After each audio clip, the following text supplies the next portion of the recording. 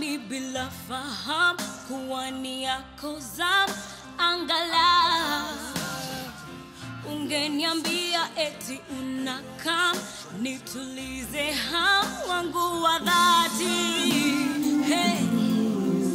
tama zangu zimenikwamia mikononi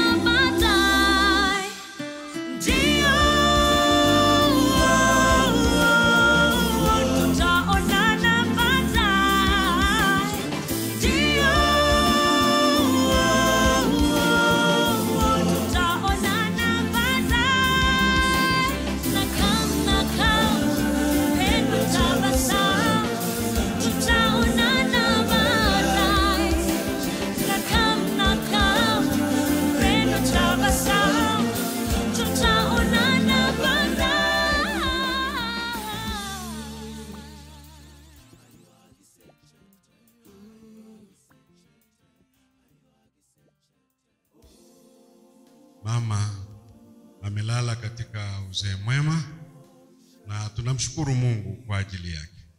Wale tuliomfahamu tunafahamu jinsi alivyokuwa tu rafiki wa wengi, mama mcheshi na mama aliye e, tuongoza katika njia ya ibada e, wakati wote mwili wake ulipokuwa na nguvu.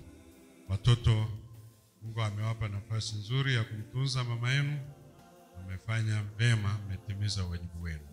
Tunasema Mungu awabariki sana kwenu.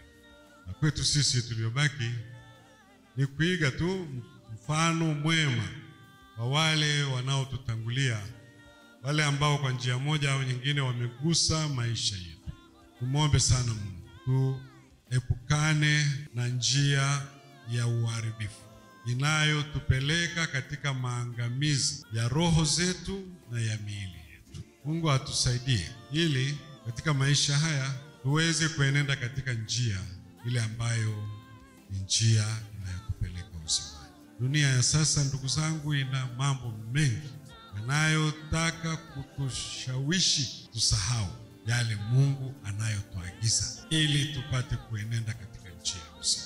Tuwapo duniani tujue kwamba tuko safarini. Mtume Paulo akasema, sio kwamba mimi sijidhanii kwamba nimefika, lakini ninakaza mwendo nikiyachuchumilia yaliyo mbele, niifikie mede ya thawabu.